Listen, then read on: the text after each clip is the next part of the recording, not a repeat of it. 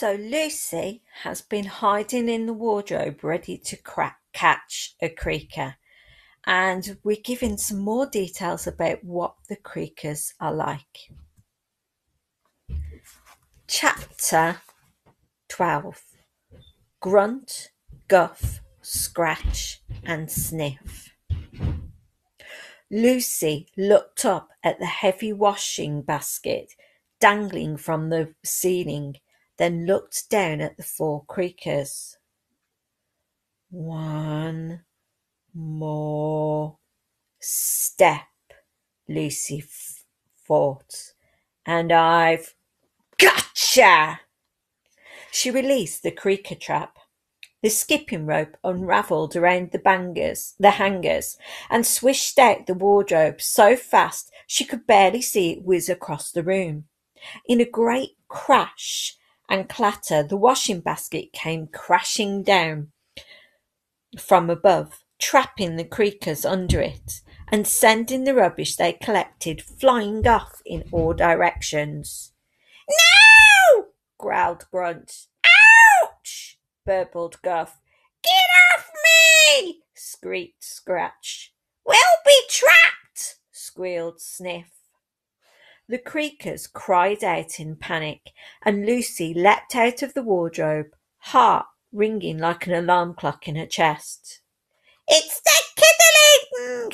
Grunt croaked. She was sneakering in the wardrobe. What a trickster! said Gruff. Yes, a naughty little rotter!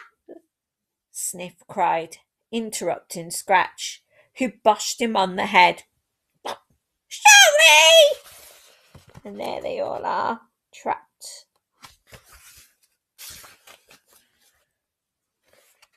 Grunt quickly took charge, plunging his black claw into the pouch around Sniff's neck and pulling out a pinch of their golden dust.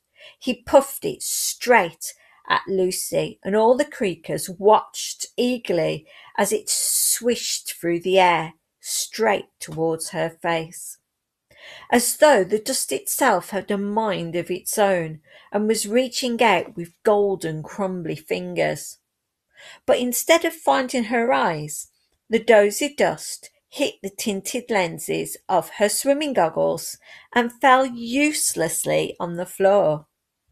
Sniff gasped in horror and fainted in shock. No kiddling, sorry, child had ever fended off the dozy dust's attack before. You crafty little sprog! Grunt spat. Did you see that?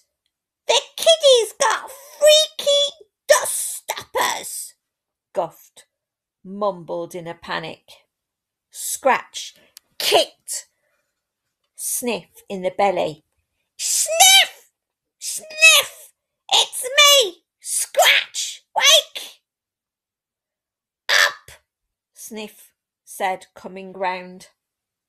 She'd be a crafty little kiddling, this'n, Grunt growled, glaring at Lucy. Suddenly he began clawing at the floor through the woven bars of the upside down basket, which was barely big enough to hold all four of them. The other creakers copied him, digging their claws into the wooden floor and scratching away. Slowly, the whole washing basket began to move across the floor towards the bed. It wasn't heavy enough to stop them, and with Norman knocked out with dozy dust, there was no one to weigh it down. Lucy gulped hard, swallowing her fear, and sprinted across the room. She jumped up on top of the washing basket, pushing it back against, uh, pu- pushing it back again, trapping the creakers underneath. Let us out! Let us out! The creakers croaked. No, I will not let you out, Lucy said with a nervous wobble in her voice as she crouched above these monsters. It was terrifying not being able to see what the creakers were up to under her feet. but she didn't dare get down in the case they made a run for it.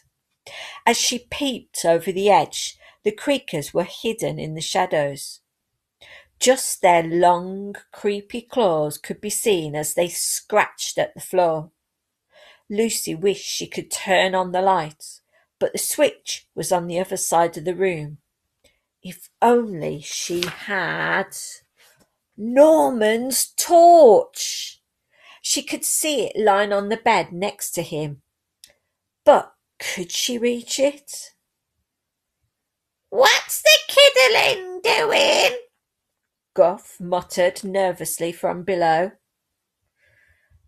Can't see the rotter, groaned Grunt. She'll be stretching out for something, croaked Scratch. She's got a ah! bright the bright Sniff cried in pain as Lucy flicked on the torch and shone it down through the bars in the baskets, trying to see these creature, creakers up close.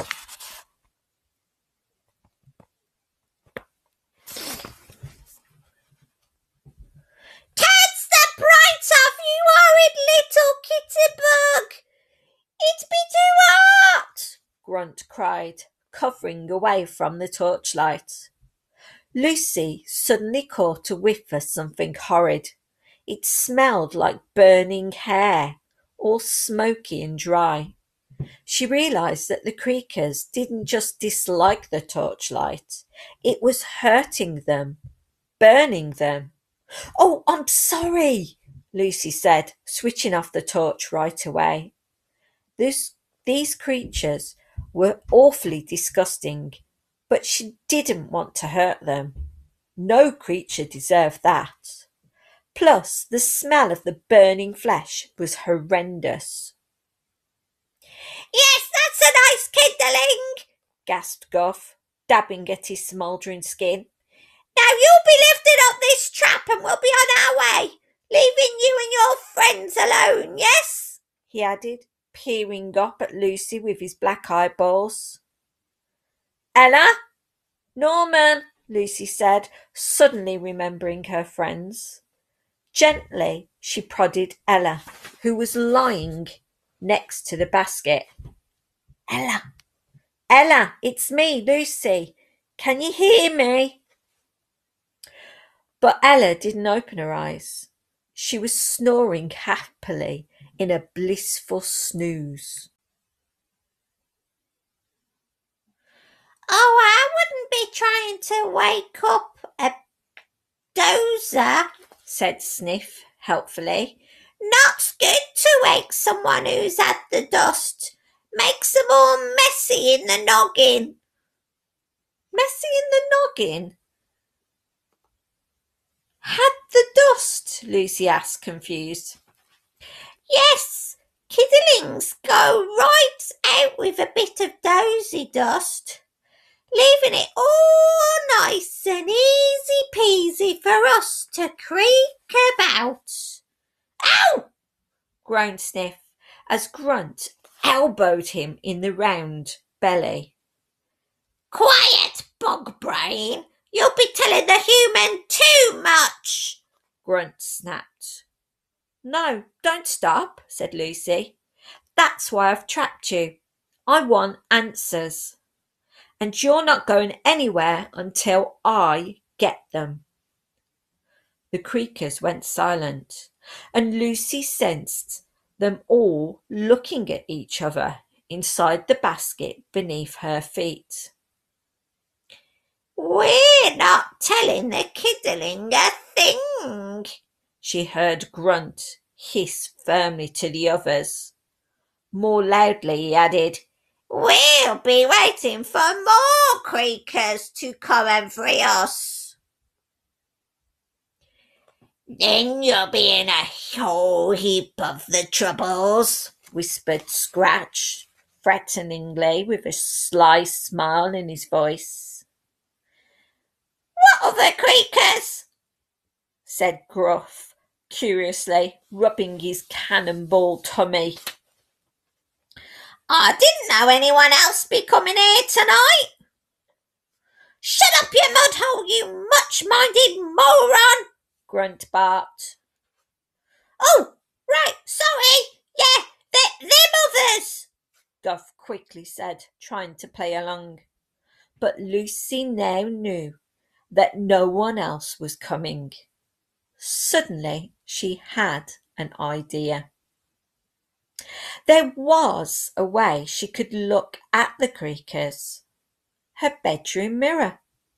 She quickly whipped around to face the wall where her full length mirror was hanging, positioned perfectly to reflect those wicked creatures underneath.